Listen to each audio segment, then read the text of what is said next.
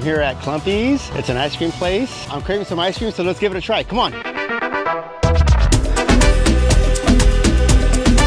Clumpies, located in Chattanooga, offers a unique ice cream experience with its handcrafted flavors.